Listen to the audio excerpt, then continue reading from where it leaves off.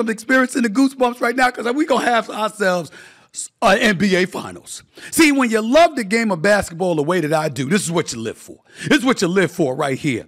It's Kyrie Irving and Luka Doncic. It's against Jayson Tatum and Jaylen Brown. And why do I say that? Because the Minnesota Timberwolves, an elite defense all year, the number one defense in the National Basketball Association, who put the clamps on the Denver Nuggets, the reigning defending NBA champions at the time, in such a manner in the first half of game two, in such a manner in the second half of game seven, that I said to myself, my God, they can win it all. They could win it all. We see the Ant Man ascending and elevating his level of play to such a degree that it warranted comparisons at that age, anyway, the tender age of 22, to the likes of Michael Jordan and Kobe Bryant. We did all of this. And then Luka Doncic showed up in Minnesota last night, in Minneapolis, and bust their living ass. Ladies and gentlemen, when you love the game of basketball, it's moments like this that you're loving it. So Luka Doncic shoots 7 of 21 from the field in game 4. He's he, doesn't have a good game. The Dallas Mavericks end up losing the game and not being able to sweep the Minnesota uh, T Wolves on their home turf and have to travel back to Minnesota for the game five. And you got guys like Jalen McDaniels talking smack about how they can run the table and, and, and they only really had one good game against us. We can take them. We think we can just run the table and win the rest of the games. And Luka Doncic came out in the first quarter. And again, it's worth repeating and reiterating with the fervor that I'm going to do it. Bust their living ass. Yes, he did. That's what he did. Okay? He comes out one three after another, penetrating into the lane, shooting fall away jump shots, doing it at his place. Looks slow as a snail half the time. Doesn't matter. Can't stop him. He's a legit six seven, a legit 240 to 250 pounds. Does what he wants to do when he wants to do it. And there was nothing, absolutely positively nothing, that the Minnesota Timberwolves could do about it. And so we're sitting there watching all of this. Luka Doncic scored. He, did you know he outscored the Minnesota Timberwolves by himself in the first quarter? He had 20 in the first quarter. Did you know that when he hit a three for his 17th point of the quarter, he was screaming? And that was the only noise you heard in the arena?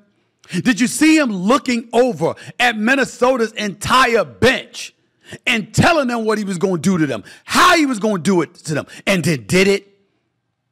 Did you know that when Anthony Edwards guarded him last night, he didn't miss a shot? Did you know that he abused Jaden McDaniels? I mean, you can't make this up.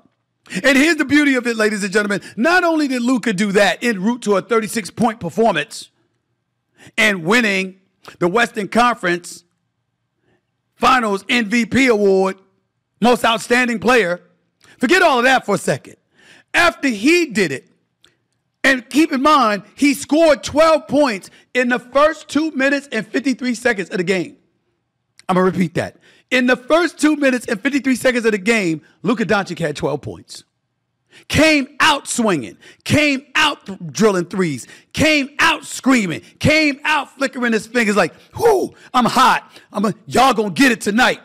And the Minnesota Timberwolves had no answer. No answer whatsoever. And so we look at that, and then to make matters worse, to make matters worse,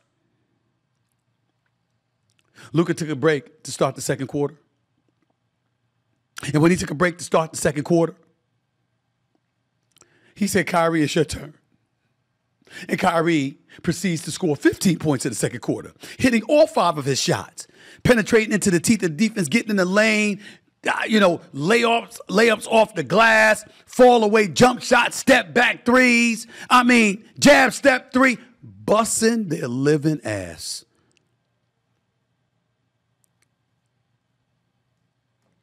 That's what he did. And I, I got to tell you something right now. I, I don't know what to say. Because, again, I thought Minnesota would win the series at the beginning of the season. I thought Minnesota had them in seven games. I thought it would take seven games, but I thought they had them because I thought it was a matchup problem for them. Okay. And I thought that it was something that they had to be mindful of because I looked at Minnesota saying, Rudy Gobert, Karl-Anthony Towns, you got the size. Dallas didn't care.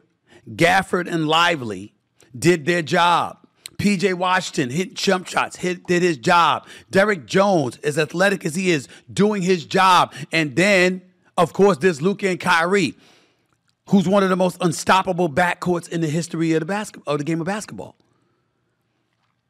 And so now you see what they see. And all of a sudden, we're hearing some of this noise. Remember, Kyrie Irving had 36 points as well.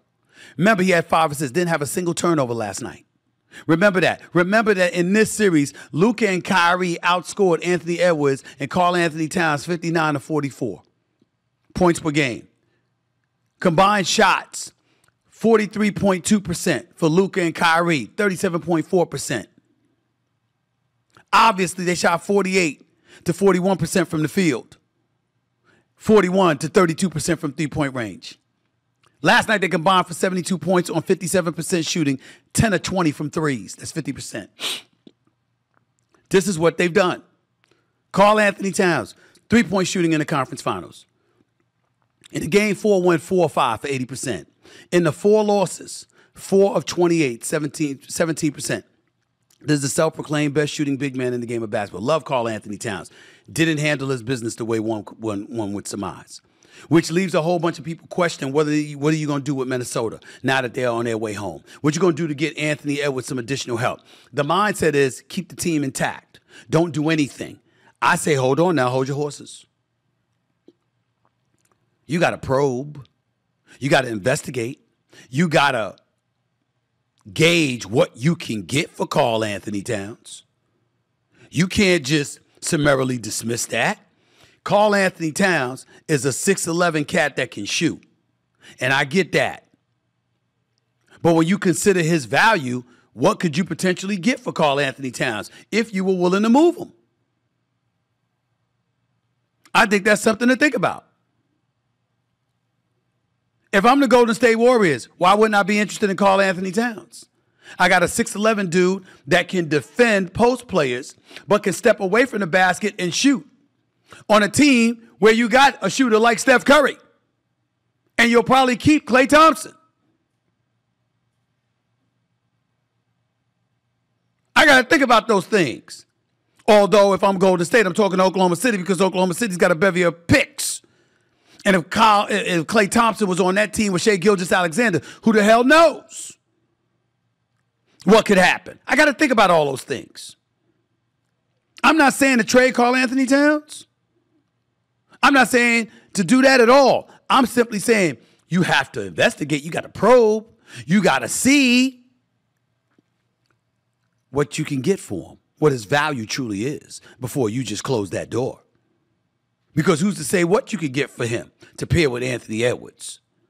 That's something worth considering, but we can talk about that another day. The Dallas Mavericks are going to the NBA Finals.